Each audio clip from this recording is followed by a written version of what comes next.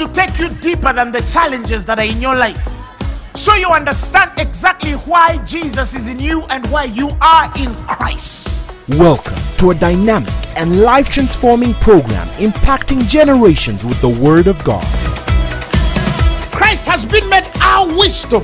He's Christ, the wisdom and the power of God. He's not just the power without the wisdom, and it cannot be complete to be wisdom without the power because the wisdom of God evokes the power of God on your life.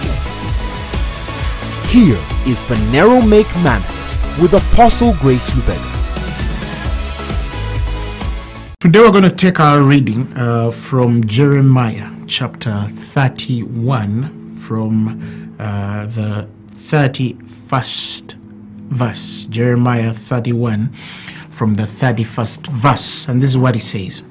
He says, Behold, the days are coming. This was a prophet speaking of the days to come. Which are the days now? Okay, I want you to note that the days that are prophesied of in Jeremiah 31 are actually the days now. Okay, he says, Behold, the days are coming, says the Lord, when I will make a new covenant. I will make a new covenant with the house of Israel and with the house of Judah. Not a covenant which uh, he says, not a covenant according to the to, to that which I made with their fathers uh, in the day when I took them uh, by the hand to bring them out of the land of Egypt. Uh-uh. My covenant, that particular covenant, God says that they broke, although I was their husband the Bible says.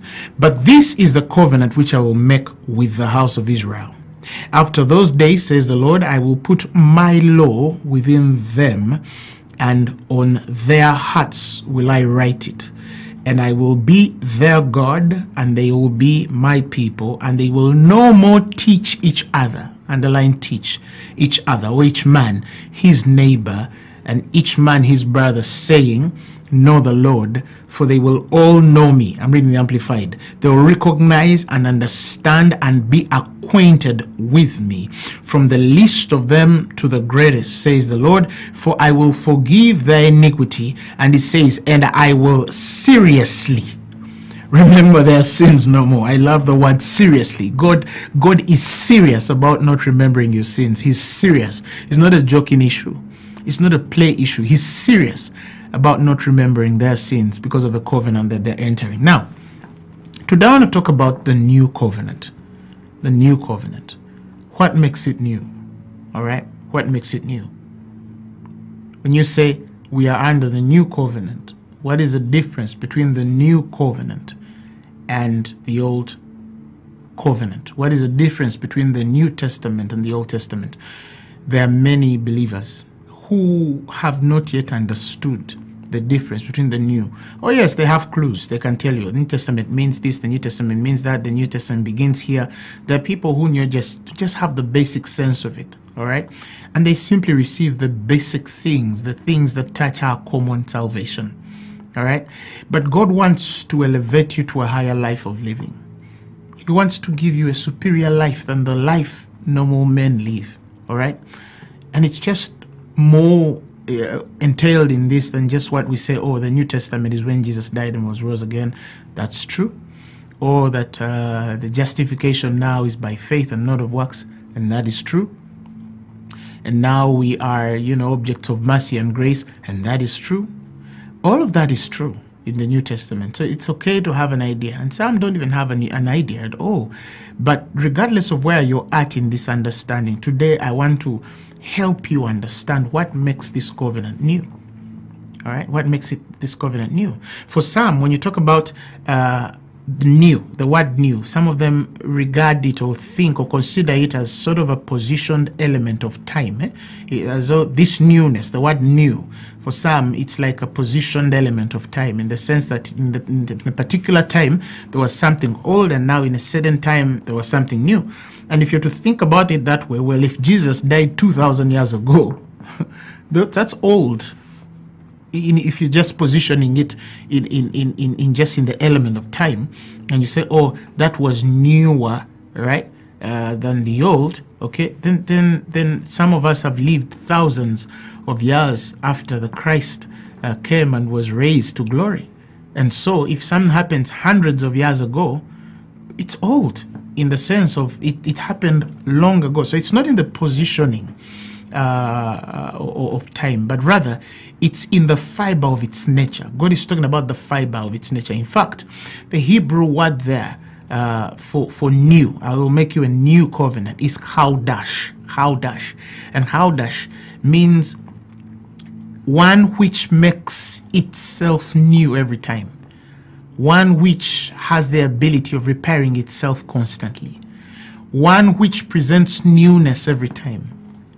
So it's not just new in your understanding of positioning that that came after the old, but it has the ability of refreshing every time, renewing every time. It is a renewal covenant, all right? In the sense of it has the power, okay, in its nature, in the fiber of its nature, to, to create newness, to create freshness, to create restoration every time it is a covenant that constantly renews and is new.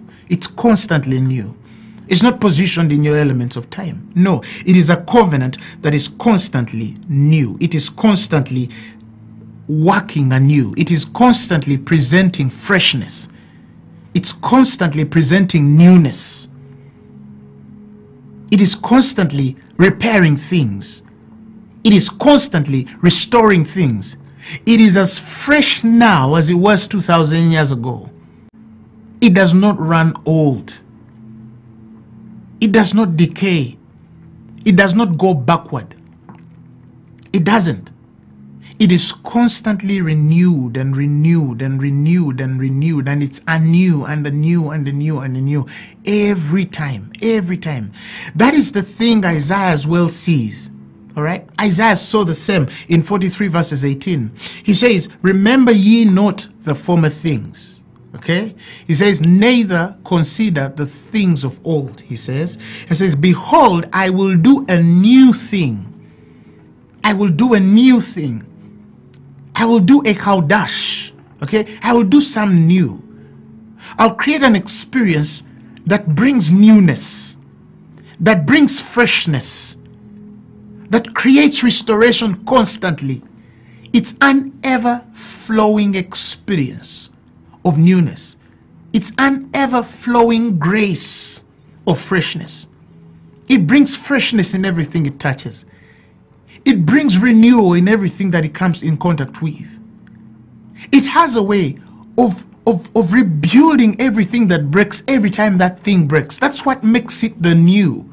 He says, Behold, I do a new thing. And he says, And it shall spring forth. He says, Shall ye not know it? He says, I'll even make, he says, a way in the wilderness.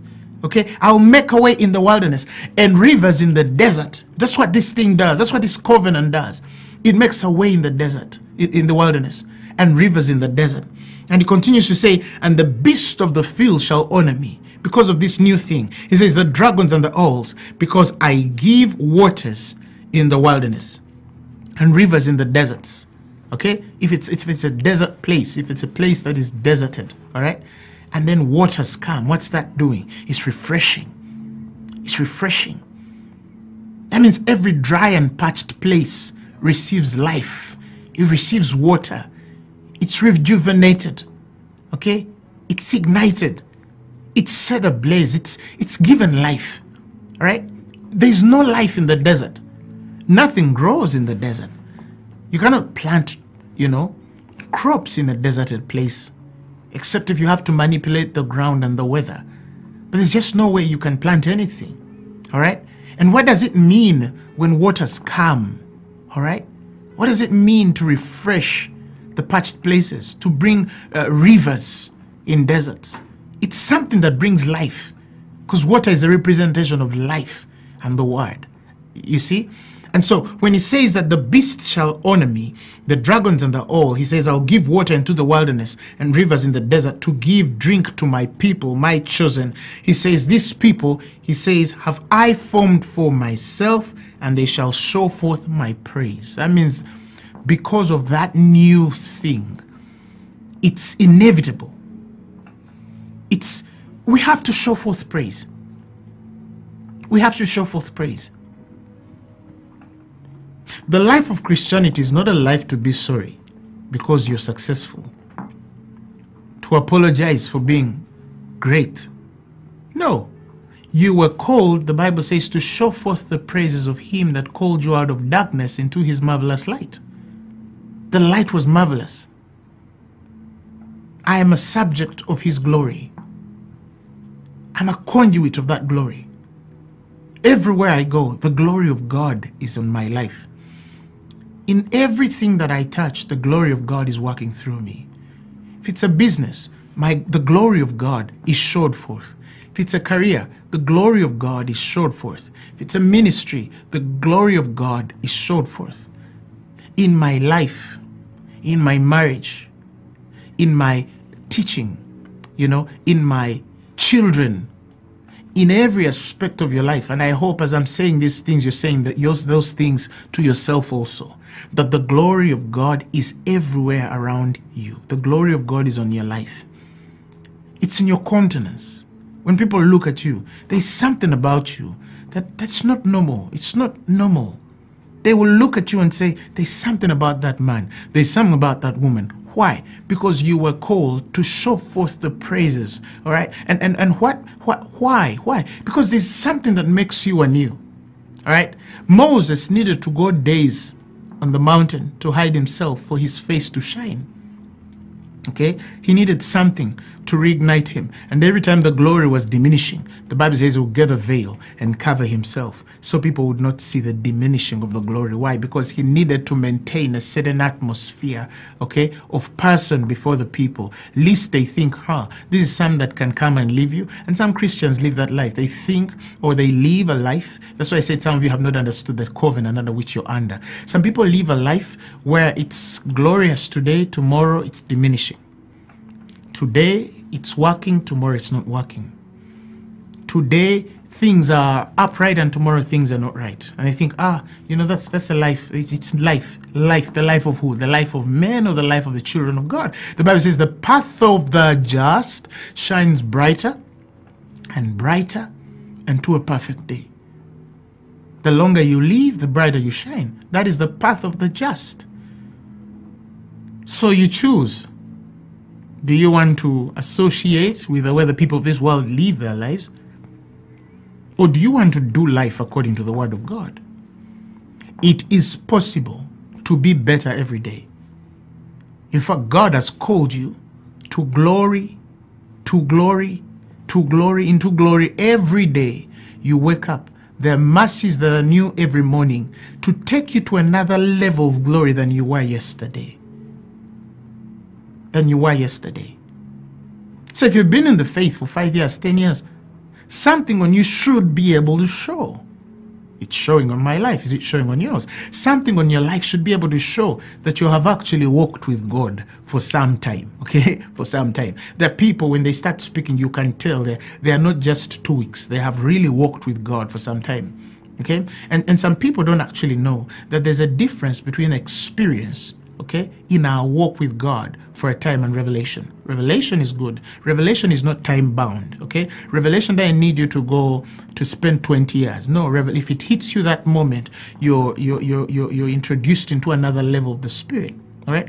But that does not mean that you ignore our experience in God, our experiences in God. All right. The time some people have spent under oil, some people have spent in the anointing you know certain things are stored up ancient in our spirits that, that sort of you know and and of course revelation is a window if you if you know how to, to, to utilize it, okay? Because many people use revelation only to the end of the door. It's more of what they're giving out to the people. It's not so much of how much they're being ministered unto all right?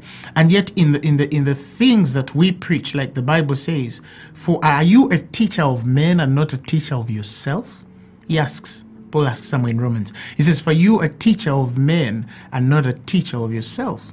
All right? He's saying that it's one thing to have you know a one-way treat of, of simply giving because the gift is stirred in you to know how to articulate and to speak to men in the way you should speak to them.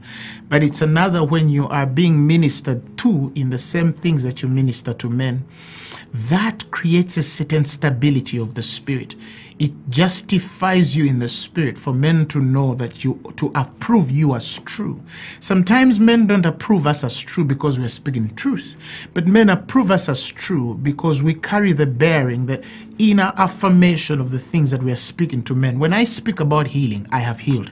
If you have walked with me or seen me or watched me for three, four, five years, those people around me, they will tell you that I'm actually what I preach. I'm actually what I preach. When I speak faith, I live faith. All right. When I speak divine health, I speak it and I live it. When I speak wealth, I live it. When I speak breakthrough, I live it. When I speak, you know, giving yourself to service, I serve. I serve God. When I speak to loving God, I, I love. When I speak of worship, I, I worship God. I, I, I, I, love, I live the things that I preach. For those that know me and are in my circles, they know that I'm a believer. All right. And, and, and there are many people who live that way. They are what they actually profess. All right. But to worship God with your lips and your heart is far is, is the challenge of the Christian faith. We cannot have results. All right. We cannot have answers when what we are is cannot cannot be demonstrated. You, you understand what I'm saying? That doesn't mean that we're perfect beings. No, that doesn't mean that we are perfect. Okay? But even the work in progress shows that we are men and women under conviction, and that's important. That's important. We're men and women under conviction. We aspire to be better every other day. Okay? And so when we when we come back to, to what I was trying to express, that the, some people use revelation only as a door. All right? They are simply conduits that avail themselves for God to speak through them the words that He must speak. But of those things, they're not edified in the same. God has not just called you to be a conduit, He has called you to be a partaker of his divine nature. To partake is different. You see, when, when, when you say, for example, uh, I'm just a vessel, all right? We are a vessel in part, but we're not just vessels, okay? We're more than vessels. If you're saying you're, you're, you're a vessel, all right? If, for example, if you're talking about a cup, all right, a plastic cup, if you pour water there, that cup is a vessel, all right? But it's not a partaker of the water in it, all right? It carries no nature of the water. It's just plastic. It holds the water, you know, or the tea that you drink. All right. Example say we are vessels, but to what extent? All right. We are vessels that are partakers of the substance within us. That's different. Okay. You're not just this, you know, garbage in, garbage out. God, uh, revelation in, revelation out. Satan uses and then dumps. And then God comes and also puts his word through you. It works through you and, and, and, and, and then you go. No, no, no, no, no, no, no. That's not the life of Christianity. The life of Christianity is not just you being that vessel that anyone is using or anybody is using. No, you are a partaker. Even when you were not yet born again in darkness. The Bible says, for when you lie and you not like your father, the devil, you are children of the devil. You, when, when you were lying in your past life, your past nature before you became born again, when you told a lie, the Bible says you were doing so because you are of your father, the devil. It is in the nature of the devil to lie, to speak a lie. It's in the nature of the devil to speak a lie. All right? Like it is in the nature of God to speak truth. So we're not just vessels, no, but we are also partakers of the nature of the substance within these vessels.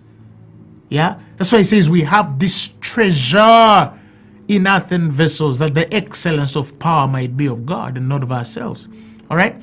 But that treasure is one with your spirit. You are one with God. He that is joined to the Lord is one spirit with the Lord. He's one spirit with the Lord.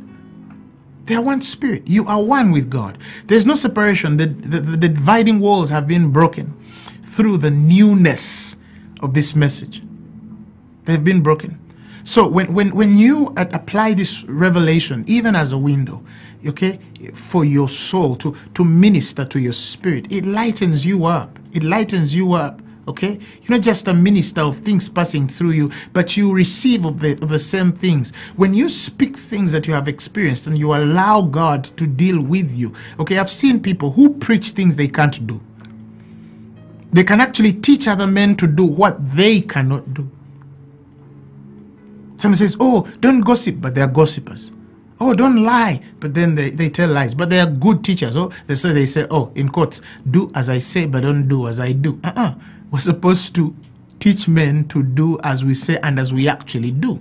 He says, when you do that, you make the Gentiles obedient both in word and deed. For I will not speak of the things save which Christ has wrought by me, all right, or in me, that I might make the Gentiles obedient in word and deed obedient in word and deed. There's a grace that, that goes into people to do. It's easy for people to go on the streets when we say we're going on the streets to preach because I have stood on those streets to preach the gospel. Now, another pastor will think, oh, let's tell people to go on the streets, and then he stays in his room eating burgers. It won't work. Because what you're trying to, to extend through uh, your, your, your ministry is not in your seed, it's not in your substance, it's not in the fiber of your nature. All right? Every priest produces after their own kind. It's been easy for people in my ministry to heal the sick because they see me heal the sick. It's been easy for them to give because they've seen me giving. It's so easy for them to love because they've seen me love. It's easy for them to forgive because they've seen me forgive. You see, it, it, we only produce our kind. But some ministers think that you are going to sort of create this, you guys do all this and me, I be doing that. No. You only produce of your own kind. Every seed produces after its own kind. And so Get yourself to the working, fold your hands to the brass and tacks and do what must be done. You will see that it will be easy. Some of you pastors, you quarrel with people. Oh, you're not submissive. You're very rebellious. But man of God, you're probably rebellious as well. You understand? If your people see you serve a man, they will serve men too. If your people don't see you honor and serve, you do unto others what you want to be done unto you. It's, it's that simple. You reap what you sow. Be not deceived. Deception begins when we start to to think that we can sow of seeds that are not in our spirits. That, that is deception. You understand? And so, back to, to, to what I was sharing. God, in the forming of his people, his choice, his people that he has loved, he intended as he spoke through Isaiah that I'm going to do a new thing. It's the same idea that he speaks of in Jeremiah. It was more than just, oh, let's change the atmosphere in this dispensation. No, he was trying to bring a certain covenant. He was trying to establish us in a certain story, in a certain testimony. And this is what he's speaking. So when we come later in the New Testament and, and, and Paul brings the same quote back in Hebrews 8 verses 10 and, and I want you to hear how Paul says it. He says, for this is the covenant. He says that I will make with the house of Israel. Now he's quoting the same, uh, you know, words of the prophet. After those days, saith the Lord. And he says, and I will put my laws into their mind and I will write them in their hearts and I will be to them a God, and they shall be to me a people. And he says, And they shall not teach every man his neighbor, and every man his brother, saying, Know the Lord, for all shall know me, from the least to the greatest. Again, I insist on this, they shall not teach. That I mean that God is against the teaching anointing or the teaching grace. He's saying that there are things because of the new covenant, because of the covenant you're in, they meet you in the place of knowledge. You know them because you're a new creation. Why? Because practically speaking, when you receive Jesus Christ as your Lord and Savior, He and you become one. So was this prayer in John 17 that they might we might become one they in me. All right. When you or I in them, when you become born again, Christ dwells in you. All right. And when Christ dwells in you, remember the scriptures say that he was the word that became flesh and dwelt among men, and we beheld his only glory as the only true Son of God, full of grace and truth. Now, that word, the word Jesus, coming in the inside of you, means that when you receive Jesus Christ as your Lord and Savior, you have received the word in you. And because you've received the word in you, there are things you know. You just know. For example, no born again believer can sin and not know that it is sin. They know, you feel it. But there's a time you'd make a mistake and not know that it's a mistake. The people in the world, it actually shocks me sometimes. Sometimes when I look at this, you know, contrast, when I look at this chasm, when I see this difference, it, it, it, shocks me to the core when I see the things people in the world do, the laws people in the world pass, the rights people in the world are fighting for. It would shock you for a moment to say, okay, isn't it actually so obvious that this is the wrong order? of things? Have people died to a place where they cannot sense anymore that is wrong for this to be this way? But it's just because they are dead to that life. But when you become born again, when you receive Jesus as your Lord and Savior, nobody tells you that you have lied or told a lie because the laws are written in your heart and in your mind. You know. In fact, when a believer can do something and not feel remorse, all right? For we all have sinned and come short of the glory of God. Our justification is simply free, but then that doesn't take away the fact that you and I have, you know, messed up. You have messed up. People mess up. People mess up. But I'm saying, but there's that thing, there's that person in you that tells you, Mm-mm, here, no, that's not you. Okay? That doesn't need to be read. But David needed to be told that he has killed a man and taken his wife because he was a man of another covenant. Right? But now these things are written anew. So there's a knowledge we have. When you walk out of love, you know it. When you do good, you know it. There are judgments that are built in your spirit because you carry the word of God, Christ in you, the hope of glory. All right? But there's a place where the mind must be renewed in the reading of the word. All right? Because the mind needs a constant reminder of the things that are in your spirit. And I want you to mark that the things you read are already in your spirit. Paul says you are a written epistle known and read by us. And he says, and you are manifestedly, all right? You are manifestedly you, uh, uh, preached or ministered by us. You are ministered by us. You are ministered by us. So when we preach Christ, we're actually preaching you because you and Christ are one. He is in you and you are in him. All the things that are of Christ, if Christ is good, we're speaking about you in that goodness which is in Christ. When we're speaking of divine health, we're speaking of that health which is in Christ. That the communication of your faith might be effectual, Philemon 1 6, through the acknowledging of every good thing, okay, which is in you, which is in Christ. All right, which is in you, which is in Christ. In Christ. You see? So, when, when, when, when he says no man shall teach, it's because there are things you know. So, as a preacher, I want, I, I want you to help you understand.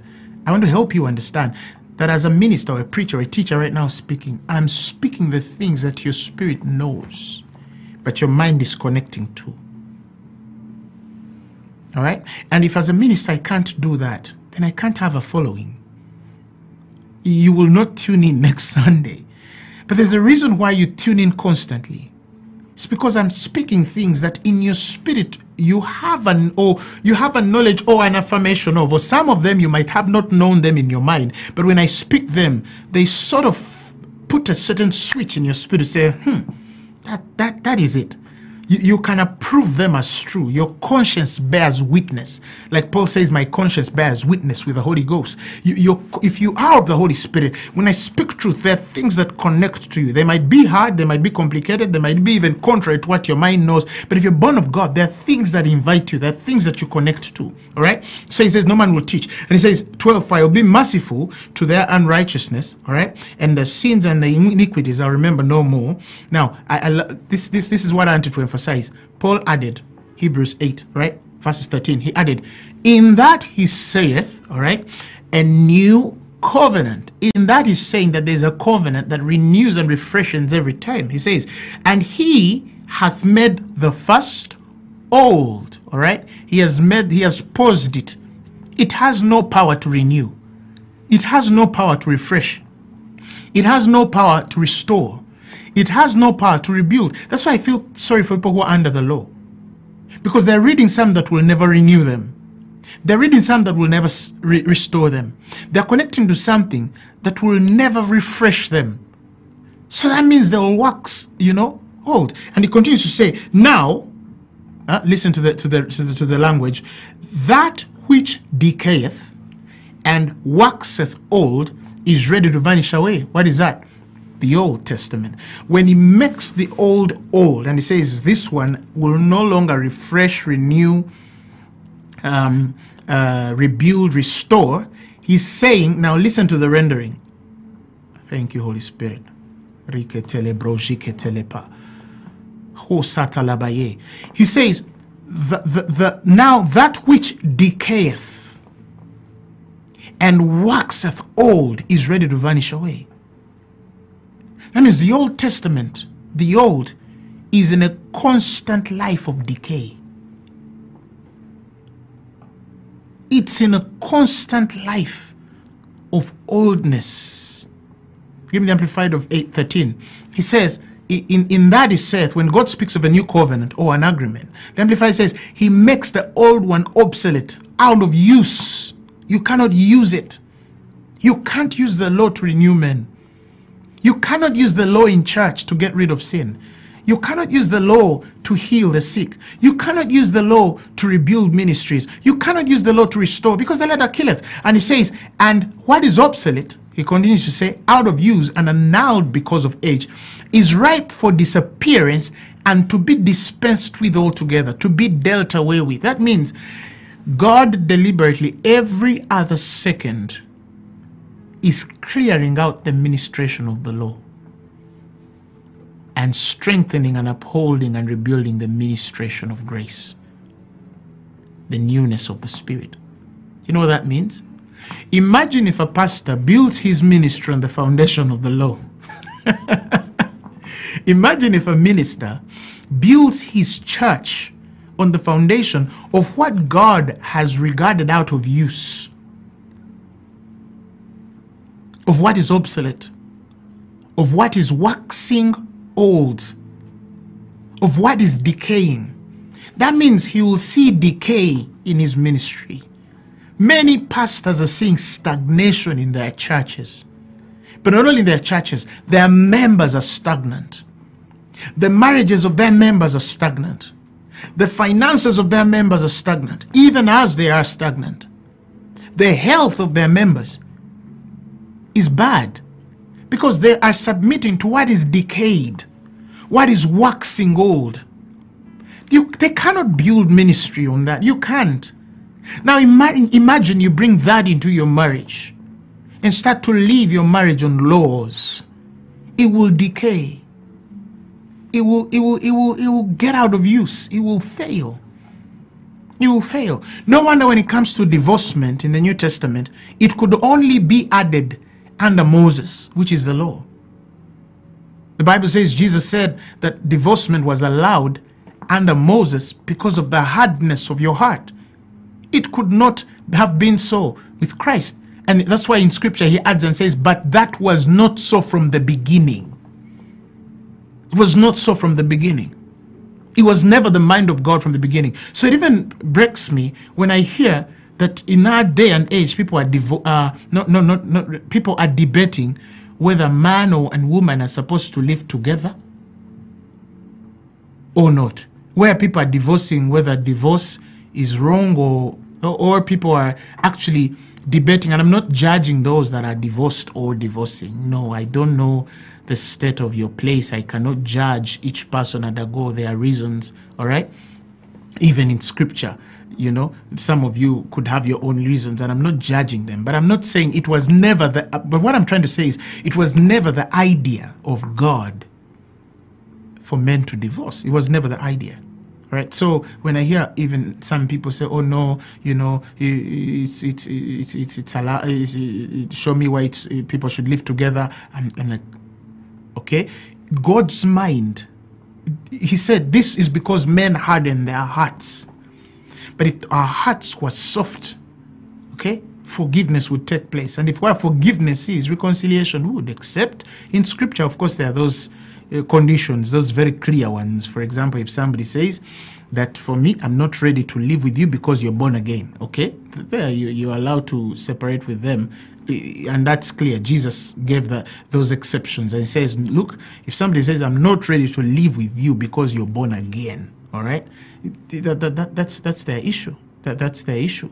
Things like that, because they, you, they've said for them by force, and, and God says, but if they're, they're able to to, to, to deal, if they're able to, to, to, to, to tolerate your salvation, he says you're supposed to wait and pray for them because the Bible says your holiness will purify them and in the end you can win them to salvation.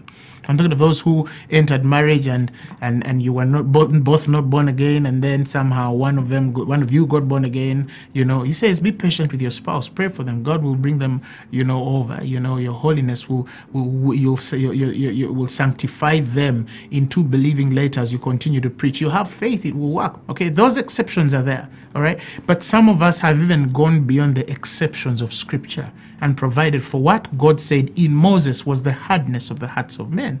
All right, and that hardness it can only take the grace of God. It can only take the grace to, of God to soften our hearts into keeping these these commitments. It's because this is a commitment you make one day, but you're supposed to fulfill for the rest of your life. That can only take the grace of God. That can only take the grace of God. But back to what I was saying, you can't build anything. That's why I said even in, in the in the putting away of wives in scripture, it was because the hearts were hardened. And and Moses provides that place under the law. It could only have been a conversation in the law because those are the things that the law kills. The letter killeth. The letter killeth. The letter killeth. But the Bible says, but the Spirit giveth life. Constant. Giveth life. Present continuous giveth life, life, life, life, life, life, life, life, life. Right? And, and, and that is why he says in Ephesians chapter 2, if you read in the Amplified, okay, you'll see that God's picture was more than just bring a covenant. He wanted to create a certain kind of person. He wanted to create a certain kind of individual. He says in, in, in Ephesians chapter 2, verses 15, the Amplified says, by abolishing in his own flesh, in his own crucified flesh, the enmity caused, the enmity caused by the law and with its decrees and ordinances. The Bible says, which he annulled. He says that he from the two might create in himself one new man. And the Amplified says, one quality of humanity out of the two, so making peace. The place of reconciliation between you and God was not simply to take away your sins and put you under a new covenant, but He wanted to create a certain quality of human being. A certain quality of humanity. So, for those of you who have understood this newness of life, you have a certain quality on your life. You have a certain quality in, in, in your humanity that is different from the normal average uh, uh, believer who does not who is who does not submit himself to the grace of God, who is simply under the law. Although his or hers, if they're born again, is still higher than men, the, the, the, the men of this world, all right? But God gives you a, a higher understanding of, of, of a, and a higher quality of living life and doing life than the average man, Christian, who is under the law okay although that one is or hundreds of miles uh, away from the person that I know God and consequently way higher than the men of this world. So you're like in the third level right? Men of this world lower level. Men which are born again but are under the law thousands of miles ahead in fact different from the men of the earth but still in a lower realm and dimension of function than the man which has obtained the full understanding of the grace of God, that one is elevated. In fact, we can never have a conversation of the higher calling in Christ when we have not discussed this doctrine. Some people think the higher calling is simply of giving of the self.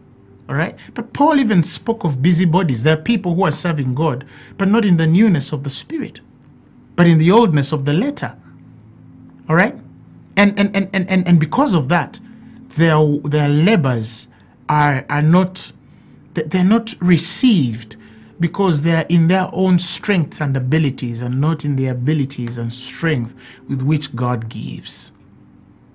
To that's why many things are around our lives fail because there's they, they have your own effort and application. When they have your own effort and application, you'll fail. Why is this growing so fast? It's the grace of God.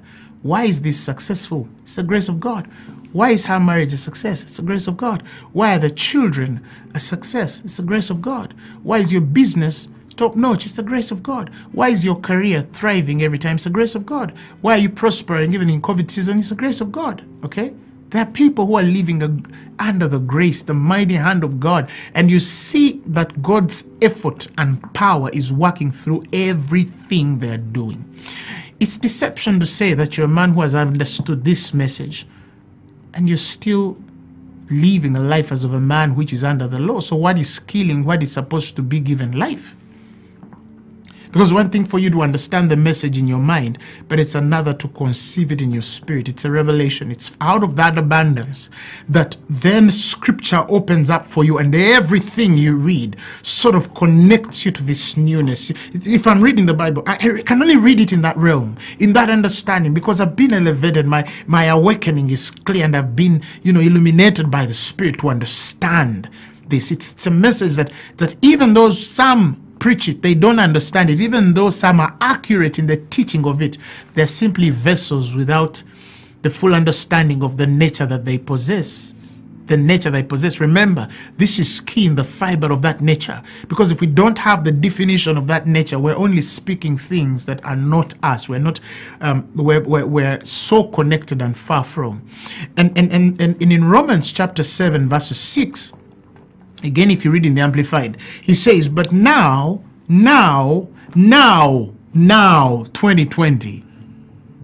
If you see this, this, this, this video or listen to this sermon 20 years later or 100 years later, it will be the now still. He says, But now we are discharged, he says, from the law and have terminated all intercourse with it. The Bible says, having died to what once restrained and held us captive. It held you captive. Why? Because it has no power to give you life. All right. And, and, and verse 7 it says, So now, again, he has repeated it, now we serve not under obedience to the old code of written regulations, but under obedience to the promptings of the Spirit in newness of life in newness of life. That is how we serve. That is how we live. So, if you you are, for example, let me give you a simple example as I finish to, to probably help some of you understand clearly what I'm saying. If you are subject to the new covenant, the covenant that makes all things new, that is ever fixed to renew things, its nature, the fiber of its nature and character, meets everything that's old and makes new, seeks to make everything new, all right? Is renewing and renews itself every day. It's restoring and restores itself every day. It has the power of refreshing and refreshing itself. It freshens up itself every day. It's a covenant of freshness. Imagine what that does to your health. That means every morning you're going to wake up new, robust with strength, fortified with an energy that's coming out of you that's bigger than your age. It's you feel strong in your bones. You feel healthy in your muscles because the covenant you're under every day releases a dose of newness of your muscles, newness in your sinews, newness in your liver, in your heart, in your arteries, newness in your kidneys, newness in your stomach, newness in your bones, newness in your joints, newness in your vision, your eyes, newness in your hearing, newness in your head. How can you suffer of disease when there is an ever fixed law that is is making you new every day and you understand it. How do you even pray when you know every day you're going to be new?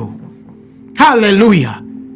So what if the doctor said you have this disease? Every day God is going to repair you and repair you and repair you until you jump out of health. There's a lady I know. She was from Rwanda. She sent me a message and she had a very advanced stage of cancer and it was in her you know in her breast and operations and this and that. It was it was really bad. It was really bad. And and she you know doctors did whatever they could. And i'll never forget the day. She used to call me one time. She was in uh, nairobi. Uh, she had sent me a message oh apostle they're doing this and that and i'm going through chemotherapy and that, that that. She was saying a lot. It was too much. And i remember i remember The day that woman called me, she said, Apostle, I was listening to a certain sermon just right now on my bed. I was listening to a certain sermon. I don't remember the title, but she was listening to one of my sermons. She was on the on the on, on the deathbed of cancer. All had eaten up her body, and she was listening to a certain sermon.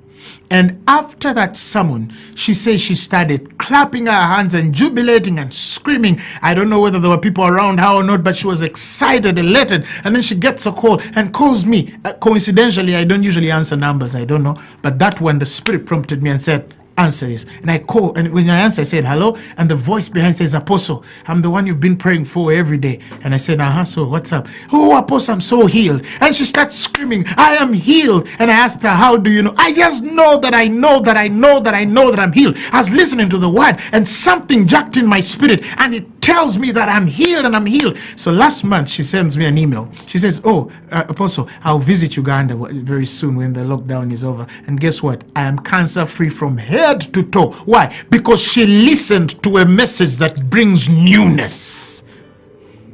Imagine what that message does in your business. Oh, you have loans and debts. I don't care how many loans and debts you have. I don't care how bad your business is doing. Evoke the covenant and say, Ratata kapata. For I know the grace of God. I am persuaded that Jesus was a rich man, but for my sake he became poor, that through his poverty, oh, he owned it. He owned my poverty. I might become rich. And therefore I decree and I declare in the newness of this life of the Spirit, which is in me in Christ, my business are springing forth. They're sprouting to success. They're going to go upward in multiplication and increase. And I declare and I declare that by the end of this year, things will be so upward and I'll shock those who know me.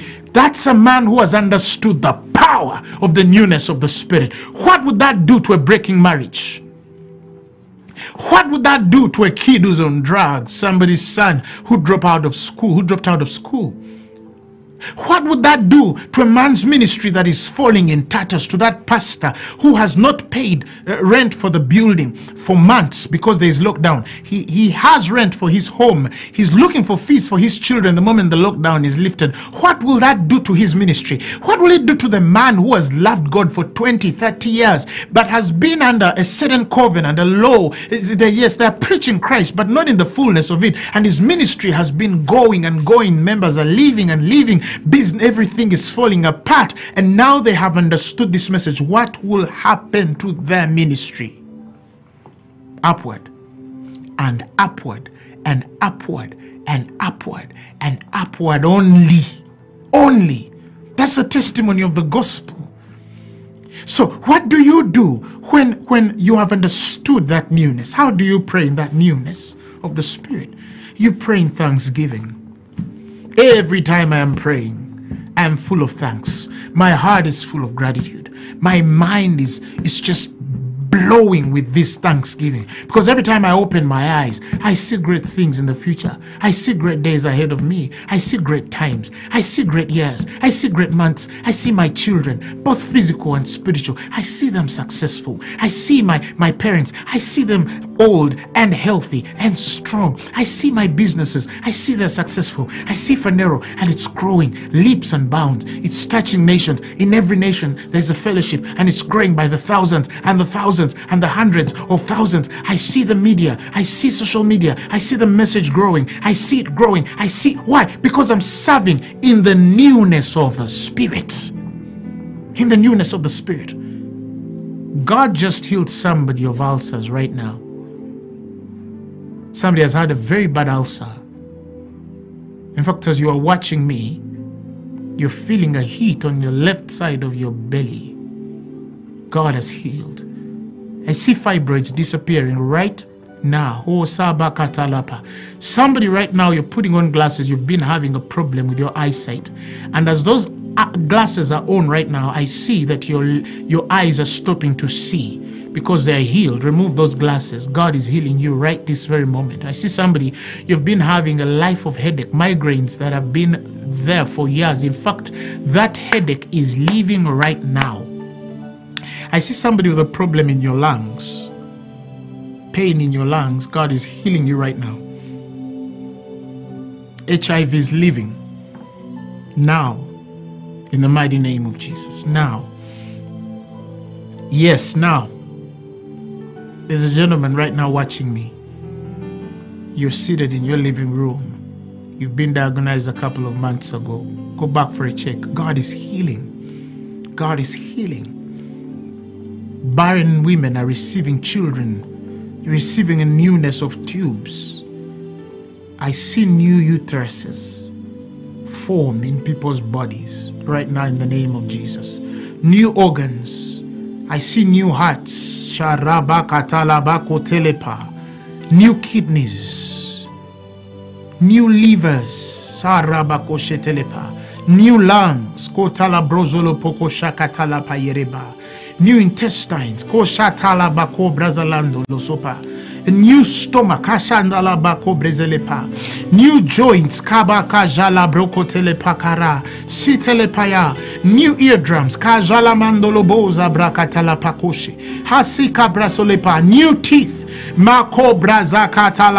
Kajilebo. Hasile prazalapa. That is the power of the newness of the Spirit. May your businesses be restored. May your marriages be restored. May your ministries be restored. In the mighty name of Jesus. Some of you, your names were spoiled. People bad mouthed you. I feel God rebuild your name in the name of Jesus Christ. And will shame your detractors in the mighty name of Jesus. Your ministries rebuild in the name of Jesus. They are renewed, they are set anew. And every time you open your mouth, man of God, fresh manna will come out of, the, out of you. Every time people will hear you, they'll hear a freshness of a message, a distinction of things they've not read or heard anywhere. Your message will be new every day in the mighty name of Jesus. For the worshiper, your worship will be new every day. For the business person, your innovations and creations, your inventions will be new every day in the mighty name of Jesus. There's a lady, you've been having a child, that child was diagnosed with autism. It's a boy, it's a male boy, he's about five, six years. God says every morning you're going to see a new boy. Every morning you're going to see a new boy. A new boy. I know a lady who had a child who, who was so bad on that spectrum, and they even say they will never speak. And that boy is speaking. She just used to bring the boy in church just to listen to the word. That's the newness of the spirit. I declare and I declare that depression is cast, bipolar is cast Schizophrenia is cast in the mighty name of Jesus. Confusion is cast. I know someone you've been feeling like things are running in your head and you're getting confused. You're healed. Somebody has a sick father in hospital right now. He's battling with a heart disease. God is healing him. God is healing him. God is healing him. If you have a sick patient, cancer, speak healing right now in the mighty name of Jesus. And the newness of that message says, Yeah and Amen. In Him, in Jesus' mighty name, we have prayed and believed. Say amen. Say amen. Hallelujah. Glory to God. I'm excited about what God has done and is doing in your life and what He's going to continue to do in your life. Every other day, you're going to go upward. Every other day, you'll register better results than you saw yesterday. And you will finish better, strong in the mighty name of Jesus Christ. If you have been healed, you'll go to phaneroo.org slash if no, I know you are healed. Testify on phaneroo.org slash testimonies. Or you can give us a call on plus 256 200 999 Plus 256 200 405. I want to hear testimonies. I want to hear testimonies. I'll read some next Thursday. And uh, if you are there and you've never given your life to Christ, what are you waiting for? Now is the acceptable time. God doesn't want you perfect. God would not want you everything in order when the lights and cameras are available and everyone. No, no, no. You're not doing it for anybody. You're doing it for you. I cannot tell what's going to happen to you next week or next year, but I can happen to you what I can tell you what's going to happen to you now. You're going to receive life. You're going to receive a newness. You're going to be translated from darkness to light.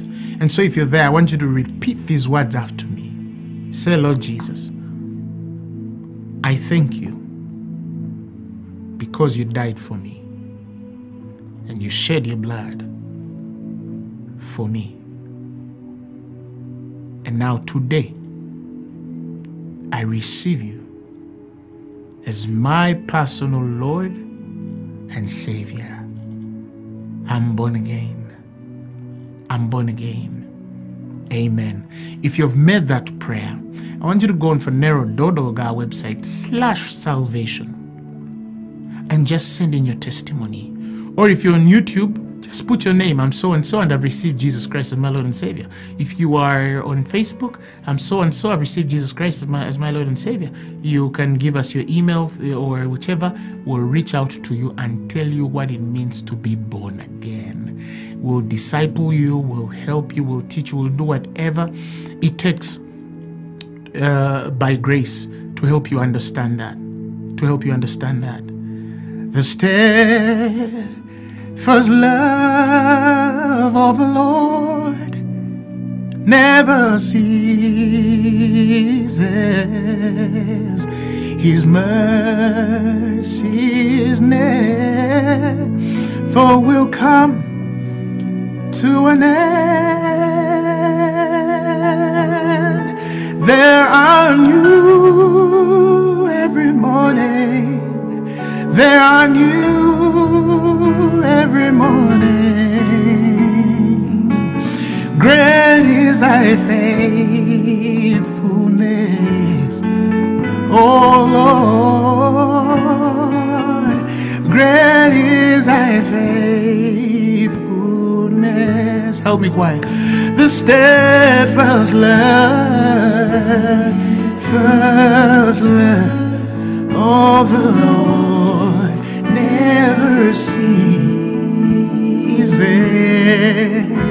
His mercies never will come to an end. There There are new every morning. Oh, great is thy faithfulness. Oh Lord, great is thy faithfulness. Sing one more time. The steadfast love, steadfast love of the Lord never ceases. His mercies never will come to an end.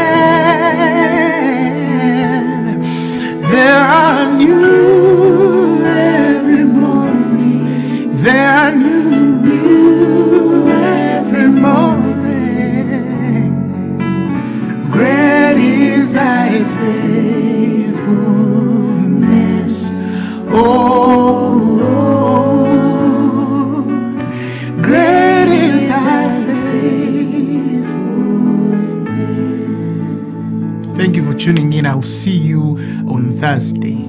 Bye. was brought to you by Phaneroo Ministries International. For more information about the great work of God, visit us on the web at www.phaneroo.org or download the Phaneroo app today and enjoy sermons, daily devotionals, and timely updates. The Phaneroo app, available on both Google Play and Apple App Store. You may also email us at info at Follow us on social media platforms on Facebook, Twitter, and Instagram. Phaneroo, make manifest.